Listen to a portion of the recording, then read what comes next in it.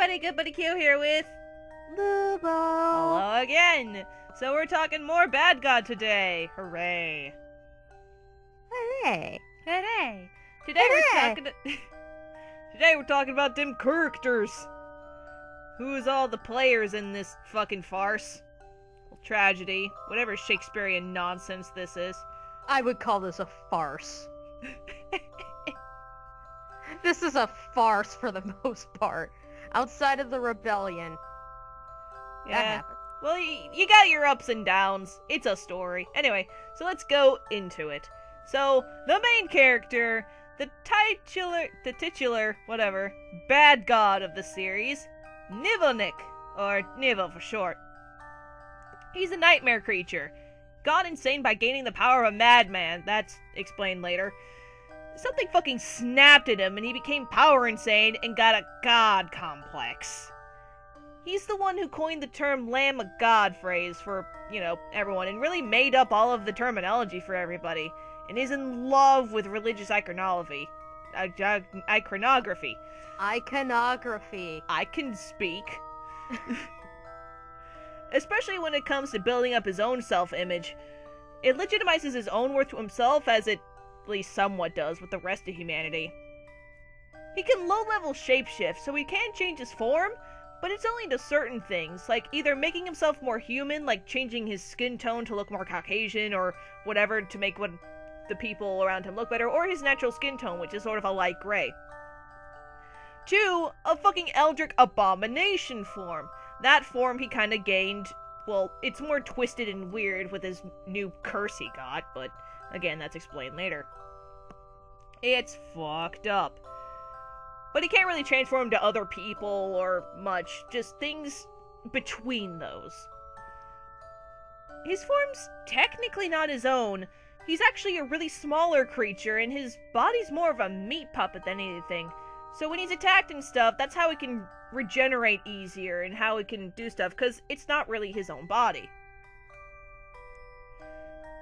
He has pale red hair, pale red hair, Pike! pale red, and he has red eyes, though the red eyes aren't his original eye color, but he doesn't remember what they were like beforehand. Because of the red, it stings his eyes. Like, if you ever had contacts, and if you put cleaning solution on them instead of saline solution and put them Oh in, it hurts a fucking lot. But the glasses he wears help alleviate that pain and give him less of a headache. So it, you know, makes it less hard to see, so it doesn't really strain his eyes and makes it less stingy. Yeah. And the red eyes are, again, more of a curse than anything. And they have affect his mental state horrifically. They give him severe levels of anxiety that he never had before, and borderline schizophrenia. Like, literally, he can hear his anxieties talking to him to the point that he can turn his head. And he's being told that he's hated by everyone, like a sort of voice you hear that if you go near a cliff, it says, Jump! But he literally turns to look to see who's the one who said that to him. It's Jump. not You fun. can fly! Exactly. In the beginning, he believes they exist for the most part. That it's its conscience or something, or someone nearby telling him things. So it gets hard to differentiate what's nonsense in his head and what's outside. It's not very good. He doesn't really have much outlets of help for it. But when the anxiety gets way too much, he will unwillingly transform. Just his motions are very emotionally charged with his powers. So it'll all just explode in a release of stress, and he'll become an Eldritch abomination and wreck everything. So he needs to be put down either by being talked down if it's not as bad as it is, or physically put down, mostly by Vanya, because he's the one who mostly puts up with him. Reluctantly. Yeah. During the story, he starts to learn that the voices aren't really true, and they don't really have the brightest ideas. He's got some mental health issues.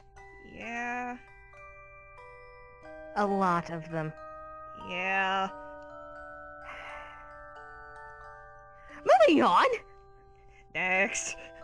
We go to the shepherd, quote unquote. The very same Novgorod that keeled over in the end at the end of chapter zero. He was resurrected officially to educate Nevo about nationkind because Nevo kind of, I don't know, killed them all. And unofficially because he happened to look like someone Nevo was rather attached to in his past. He's super bitter about his situation and is constantly trying to push Nevo's buttons.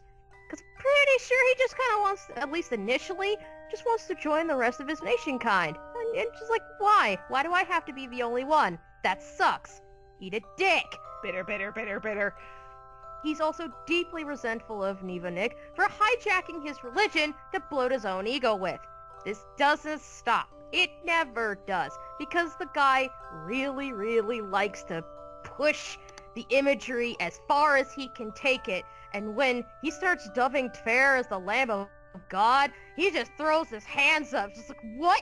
You're gonna give this kid a complex. He is not Jesus Christ. What is wrong with you? God. But he's the son of God. You're not God! I'm gone now. You're not. You're a dictator. Uh, sure. Dictators perform miracles?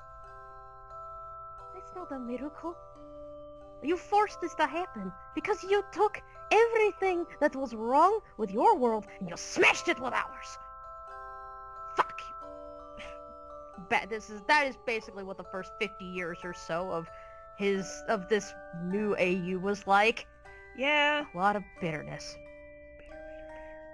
He's dealing, Vanya, I mean, with about uh, a couple hundred conflicting emotions regarding the lambs and Nevo himself.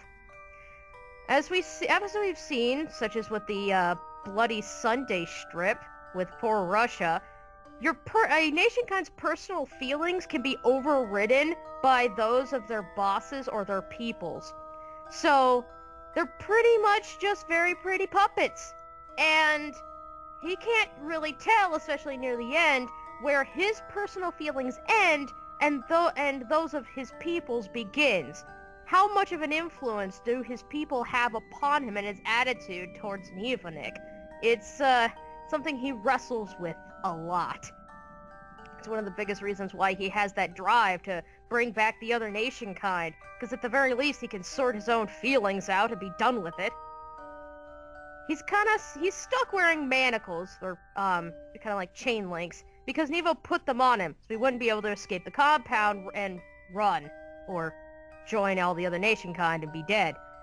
Sometime after the lambs come along, Nevo takes them off, kind of. He severs the chain on them, but keep Vanya keeps them around, kind of in the same way that Nevonik named himself. Just kind of a reminder of how far he's come along. When he wants to return, he is in this for the long con. He wants to return the world to its former state because as broken and bullshit as it is, it's still better than this crap. Neil.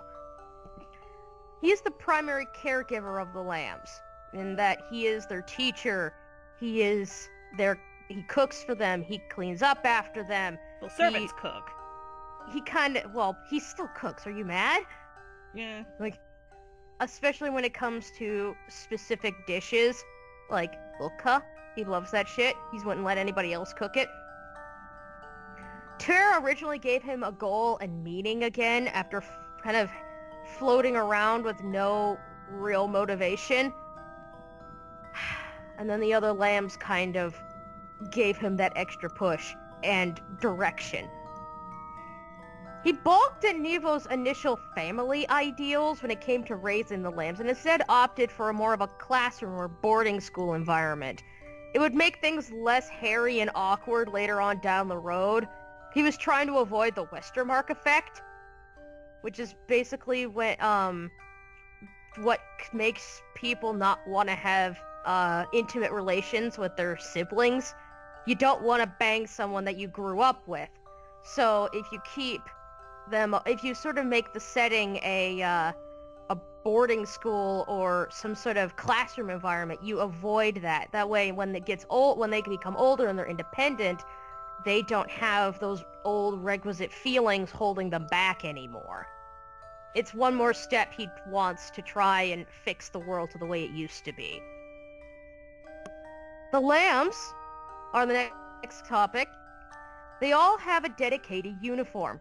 They have a smock, some kind of pant or bloomers, and they're not allowed to have shoes anymore. They're not allowed outside anymore without express permission and an escort, and heaven knows they can't leave the compound. And it's considered holy ground because, lol, God lives there. Can you hear my eye roll? Yes. The colors for their smocks are chosen by the lambs. For instance, um, Feli in his green smock. But old flag colors are not allowed, at least for the most part. Favorites are allowed, are they're kind of allowed to bend the rules, and Feli is one of Nevo's favorites. But everyone else, nope. Father is paranoid that they're gonna remember something if they see their old flag colors. All of them wear the shepherd's tag on their collar. It allows them to pass through certain doors in the compound. Now, modifications to the uniform are, forms are made on a case-by-case basis, like with Feli's apron. But individual streaks appear as they get older and they start to connect deeper with their home culture, like Yao's hair ornaments and Feli's um, head scarf and things like that. It much to Nevo's horror, because it just means they're starting to kind of lean away from him and disconnect from him. He doesn't have as much control over them anymore. Yeah, he's kind of a control freak. We come to the first, the proto-lamb, Tver. He's a small babu, at least initially, that just wants father's attention. He's dubbed the Lamb of God by Nevo, much to Vanya's horror, because this child is not Jesus. What is your issue? I'm Gonna give him He's a the god of God. complex. He's not your son!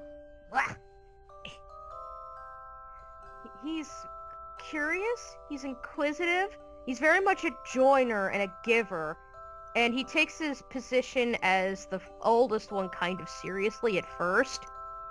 He doesn't like being um, pushed out from social gatherings or ignored. He's not used to it. So when the other lambs kind of grow apart from him and they start to kind of coalesce into their old groups, things like the BTT and whatnot, he kind of starts to withdraw from them. He doesn't know how to handle it. He gets, he kind of develops a low self-esteem streak. And as he gets older, he becomes more independent and becomes kind of sassy and sarcastic.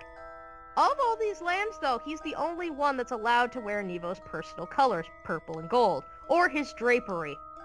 World's brute, the world brooch, eventually gets given to him when he's appointed heir, and he uses it to kind of push his influence when he's finally allowed to go outside on his own. Then we come to the first generation of lambs. Francis, Yao, Arthur, Matthew and Alfred, Feli and Ludi, and Yvonne. Arthur's a really salty, bitter bitch. He's bitter as hell over not being the oldest and considered the most important in the group. He wants to be in charge, but he ain't. Yao is kind of pushy. He has to have his own way in everything, and he's very particular about how everything is arranged. He believes a lot in luck. He wants everything to be lucky, and as such, he'll move chairs around, he'll shuffle furniture, he'll shift colors in places, and he won't have things like an, a heater facing a water source. Things like that. Francis is fascinated by fairy tales, and he calls himself the big brother of the group, even if he's not technically the oldest one. Feli and Ludi act as a single unit. Ludi is very quiet and withdrawn and acts as, Fel- as Feliciano's guide. Feliciano is very nearly blind, evidence of the way he died as an adult. He didn't die very good. No, his was kind of ruthless. Because he tried to befriend Nevo before he died, and Nevo's like, yeah, sure, why not? And then Nevo fucking energied him in the fucking face, and eyes. Possibly he ate them? It's possible. Just to see what would happen. Ew, you dick. He eats people! I still think that's true! I know, but the eyes in particular, Creeper. Yes. Very much Yvonne so. is. Oh, sorry. and something about it too of like when he did bring him back. Since we're talking about the Philly thing, might as well get all this info out right now. Of Mhm. when he did try to bring Philly back, that was an accident. Of like shit, I don't know why he he's blind like this. This none of the others came out like this. This isn't good. And so he's like, okay, I'll figure it out. Don't worry about it. Inwardly thinking, fuck, it's because I ate his eyes, wasn't it? Fuck. Okay. So he tried to, and then he realized as he was going on how the lands are starting to work a bit more together to be able to get this kid some help. And he's like, wait a second, this can be sort of a thing to present to everyone. Well, not present, but this can sort of be a lesson to everyone that you need to work together as a family unit to be able to all work because some of them aren't able, don't have the same um, abilities as you do. This might be a good lesson in humility, especially when they get older and need to, you know, talk to people and stuff. So he decides to purposefully keep Philly having horrible eyesight, and also it makes Philly more dependent on him and gives more thing of like, yes, father can do a lot of things for you. He can provide you with more sight. He can do so many things to help you if you let him. So he personally kind of sabotages it using Philly as sort of a guinea pig for it, which pisses Vanya off once he realizes it. Yeah. They have their version of Christmas is New Year's because it's easier for everybody around the globe to kind of celebrate on New Year's because that's a cohesive event for almost everybody. Um, almost every year, Vanya asks Nevo to give the poor kid better glasses or to fix his eyes because he knows full well he can do it, and he's just being a prick about it. He never, he can never get him to cave though. He He- tries. He can give him better glasses, but it it refused by much, so he can just see a bit more details every time. So, but as an, when he comes to be an adult, he can see perfectly fine. He likes to paint too. And he paints in uh, a very kind of blotchy style. And you can only really see what it looks like from a from a really long distance away. Or squint. So the painting changes depending upon how far away or how close you are. but it's still very pretty. Yes. Yvonne knits to keep himself calm. He's kind of anxious. He's easily startled. He likes to pal around with Francis, and he idolizes him. You wee aboo. With an O U I. Just like in real life. Hey. Matthew and Al are also a single unit. Maddie is one of Nevo's personal favorites, while Alfred is always very uneasy around him. He prefers the shepherd's company far more to father's, Calls him mom sometimes. like every kid does when they're in elementary school. They got, gotta do it at least once and get humiliated in front of everyone. Yeah, I think Alfred does it the most. Yeah. God, that pisses Vanya off. Not your mother! Ah! Rip. The second generation comes along later. Romano, Spain, we get the first girls, Belarus and Ukraine, Japan, Prussia, Hungary, and Lithuania. Romano's a sun-sun piece of shit. He ends up developing a cr- crush on Tver. He later leads the revolution as well to overthrow Mr. Bad God. Yeah, that happens. Yeah. Antonio bails out on his own generation to go form the BTT, naturally with Francis and Gilbert. Bella, Belarus, doesn't quite bond very well with the other lambs, instead opting for the company of her brother, sister, and the Lili Mochi. She kind of kidnaps one and just kind of keeps it, and they're like, I don't know. And it's like, eh, it's fine. She just kind of keeps it around because she's cute. Japan is kind of standoffish. He doesn't really socialize all that well. He prefers quiet corners, books, things away from everyone else. He changes stuff, like shifting things a little to the left or right when things when people aren't looking. And Feli keeps trying to drag him into his friend group. Feli's a good boy. Belly's so cute. Prussia, Gilbert, is very quiet around authority figures, but he's a loudmouth little shit when he thinks the pictures, are, the adults are out of the picture. He loves going to mass. That's something else the lambs have to do. They all have to go to mass. They also have to go to a um, a dinner together usually, like a Sunday dinner. Probably the same day as going to mass, like afterwards or beforehand. Probably after. They also all have to eat breakfast as a group. Yep. Father usually makes an appearance. He's required to at dinner time, and that so you, sometimes that's the only time Fair ever sees him. And a lot of the lambs too. Yeah.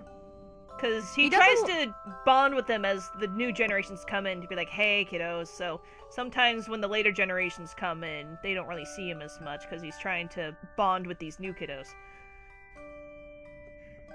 Prussia loves going to mass, but he doesn't like all the conflict all the conflicting feelings he has about it.